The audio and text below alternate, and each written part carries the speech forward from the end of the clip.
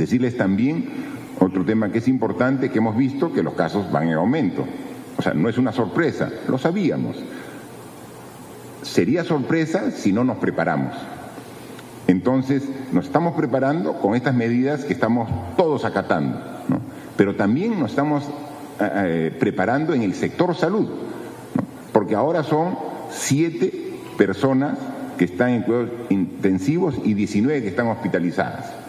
Pero esto puede subir. Entonces, ayer le hemos dicho que tenemos un hospital para cuidados intensivos que es el de ATE. Y entonces está ya listo y preparado y a partir de pasado mañana ya va a comenzar a recibir los pacientes que estén eh, con la infección del virus, el COVID-19, y que requieren un tratamiento muy cuidadoso en cuidados intensivos. Se van al hospital de AT. Y nosotros, a través de, salud, hemos eh, dado la responsabilidad para que se adecúen las torres de la Villa Panamericana. Ya ayer han ido, han evaluado, se está haciendo la adquisición de lo que se requiere, porque ya tenemos la infraestructura, tenemos las camas, o sea, ya tenemos camas, tenemos opción, falta algún tipo de accesorios propios de un hospital que no tenía, porque era simplemente eran dormitorios para los deportistas, pero hay que implementarlos con el equipo médico mínimo necesario para que vayan los infectados del COVID-19, pero que no van a cuidados intensivos. Ahí tenemos hasta capacidad para, en un futuro, y ojalá no lleguemos a esa necesidad de poder albergar hasta 3.000 personas hospitalizadas. Hemos eh, empezado eh, con la adecuación y la implementación de dos de las siete torres.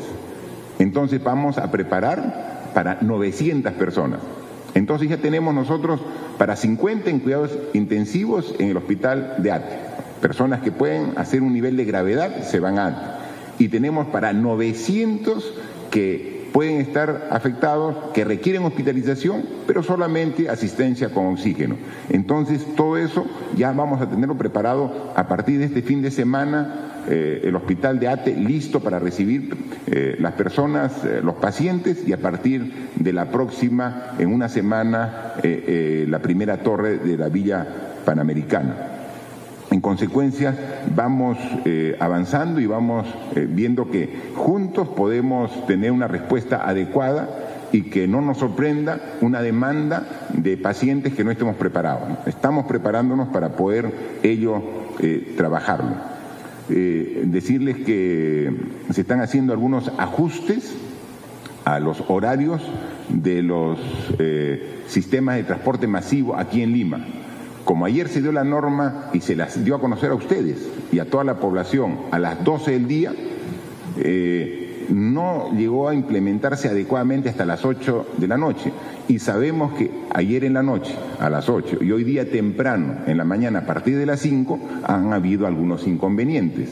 Sabemos que estas normas generan inconvenientes cuando se empiezan a aplicar. Ya el ministro de Transportes aquí presente ha dado exactamente algunos cambios, modificaciones para que hoy en la noche sea mucho más ordenado y fluido el tránsito hasta las 8 de la noche y mañana a partir de las 5 de la mañana. Entonces él en su momento lo explicará. Así que eh, vemos que eh, el acatamiento es mejor y en la medida que eh, todos cumplamos con nuestra responsabilidad, yo estoy seguro, como estamos seguros todos los peruanos, que vamos a salir de este gran reto eh, de manera exitosa. Eh, dejo, como en todos los días, la oportunidad para que los medios de comunicación nos hagan las consultas a los ministros sobre algún tema en particular. A continuación, se procederá a las preguntas por parte de cuatro medios de comunicación. Iniciamos con Luis Enrique Pérez, de convoca.pe. Eh, buenas tardes, señor presidente, señores ministros. Em, la primera pregunta tiene que ver con los detenidos el toque de, queda de, la noche, que son 462. ¿Estos casos dónde fueron más recurrentes? ¿Dónde se encontraron más personas eh, desobedeciendo esto? Y si se han encontrado también personas que tengan requisitorias en, en este número. Y algo más respecto, eh, bueno, ayer en la noche eh, Convoca publicó una información sobre que la TAN en Chile estaba llamando a sus trabajadores a aceptar una reducción voluntaria de sus sueldos, más o menos del 50%, y por fuentes nuestras en Perú también lo estarían ya haciendo. ¿Cuál va a ser el, gobierno? Indicó cuando inició el estado de emergencia que no se iba a hacer una, una afectación a los trabajadores, pero parece que algunas empresas como la TAM estarían haciendo esto eh, afectando el ingreso de los trabajadores de esa empresa. Gracias. Por favor, ministro. Sí, buenas tardes. Para responder la pregunta, eh, se han producido 462 detenciones de personas que han quebrantado la norma. De ese total, 152 han sido en Lima y Callao no se han registrado requisitoriados, son personas que flagrantemente han salido de sus casas en la hora de restricción. Respecto, nosotros eh, en una de las normas lo que hemos propuesto a las empresas con los trabajadores dependientes, y así lo hacemos en el Estado, es que como hay la obligación de que las actividades que no son eh, prioritarias y que tienen que trabajar en estos 15 días de emergencia, los trabajadores tienen que estar en su casa. Y la propuesta que hemos hecho es de que se les dé una licencia con goce, es decir, están con licencia con goce y después se recuperaría esas obras, esas horas no trabajadas en función de un acuerdo entre las partes. Eso es lo que hemos propuesto, pero siempre la legislación permite que entre, eh, entre empleador y empleado puedan directamente ellos tratar. Vamos, eh, en todo caso, lo que ha manifestado es una situación en Chile, no, no lo dice acá en Perú, pero la ministra de Trabajo y, como gobierno vamos a estar atentos de situaciones irregulares que se den. Siguiente pregunta a cargo de María Alejandra García, de Perú 21. Buenas tardes, señor presidente, señores ministros. Eh, tengo tres preguntas. Eh, la primera es para el señor presidente. Eh, el domingo cuando se anunció este estado de emergencia se dijo que se iba a evaluar hacer vuelos para traer a compatriotas que se encontraban varados en, en, varios países del extranjero. ¿no? Conforme han pasado los días la situación de ellos se ha agravado y quería saber cómo se iba a proceder para facilitar su retorno. La segunda pregunta es para el ministro del Interior. Eh, la policía mencionó que la división de alta tecnología estaba haciendo un seguimiento virtual a los usuarios que aprovechaban esta situación para causar pánico a través de falsas cadenas. Quería saber si ya se había identificado a algunas de las personas que siguen todavía difundiendo este tipo de mensajes.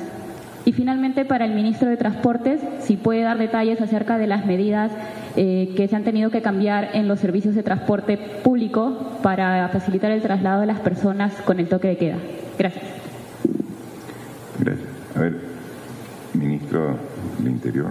Efectivamente, la División de Alta Tecnología está avanzando algunas investigaciones, ya tiene a algunas personas que están siendo identificadas y posteriormente van a ser puestas a disposición de la justicia previo informe policial.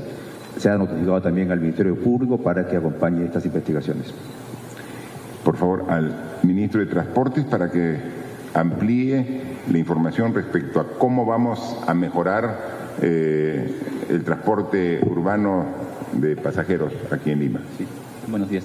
Estamos en condiciones de poder anunciar, señor presidente, que el sistema de transporte urbano está garantizado, para lo cual estamos hablando de los sistemas de la línea de metro, estamos hablando del metropolitano y sus alimentadores, estamos hablando de los cinco corredores complementarios, para lo cual el Ministerio de Transportes y Comunicaciones, a través de la Autoridad de Transporte Urbana de Lima y Callao y en coordinación con Protransporte, estamos dando facilidades a los operadores para poder brindar el servicio regular entre 5 de la mañana a 8 de la noche.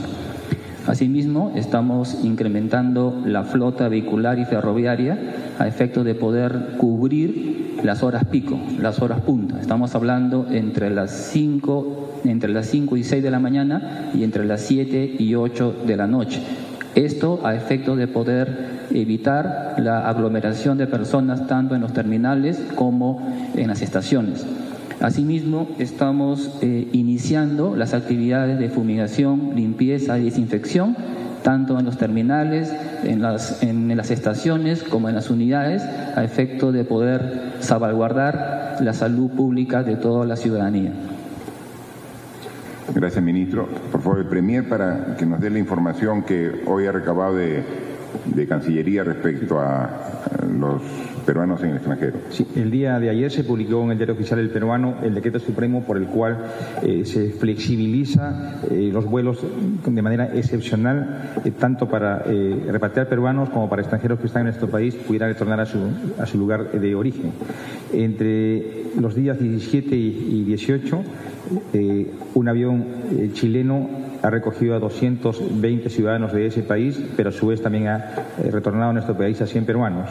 Igualmente han habido eh, dos vuelos, uno que ha partido de Ciudad de México y otro de Cancún, eh, en un total de 200, 300, 250 ciudadanos mexicanos han retornado a su país y también ha permitido que 400 ciudadanos nuestros puedan estar en nuestra patria.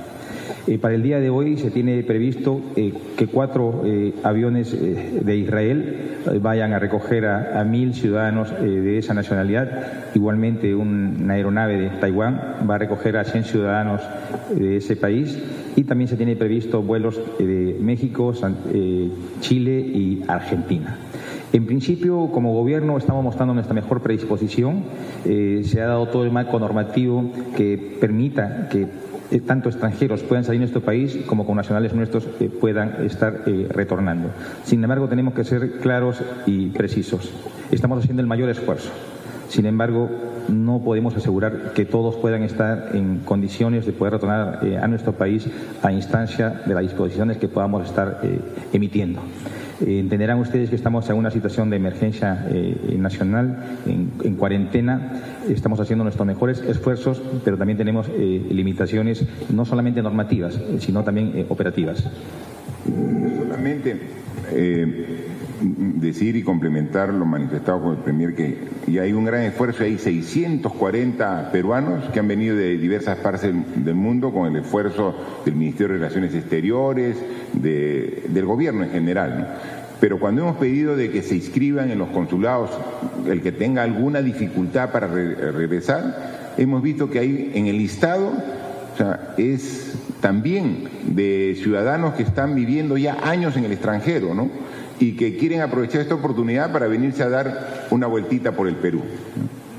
Y no es así, o sea, la idea es eh, qué casos extremos de emergencia realmente que, que esta, eh, esta situación los, los agarró justo por regresar, ¿no? Y que ahora están sin recursos, ¿no? Pero hay que diferenciar, ¿no? Porque cuando le preguntamos al canciller, ¿y, cuántos se han inscrito? Como 20 mil. O sea, no hay 20 mil eh, peruanos que hayan salido y circunstancialmente se hayan quedado, ¿no? O hay peruanos que están, pero que tenían pasaje de regreso, por ejemplo, para abril o para mayo. Entonces, pero si me van a poner avión, me voy, adelanto mi viaje.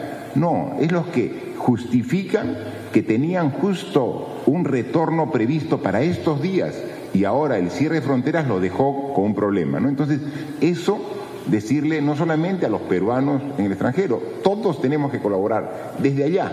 También colaboran, porque no cargan eh, precisamente el trabajo de la Cancillería con casos que no son eh, eh, urgentes y, dejan eh, espacio para atender a ciudadanos que sí tienen esa necesidad. Hay esa diferencia que es importante y que es necesario que decirla porque no vamos a poner eh, aviones para traer a 20 mil eh, ciudadanos cuando eh, el requerimiento es mucho menor. Entonces, eso es la responsabilidad que pedimos a los peruanos aquí eh, en nuestra patria eh, que residen, como también a los que circunstancialmente se les ha encontrado eh, esta estado de emergencia en otros sitios.